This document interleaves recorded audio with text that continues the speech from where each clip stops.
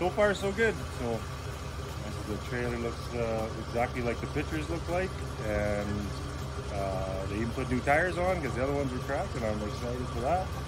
Um, and I'm ready to go camping. So thanks a lot.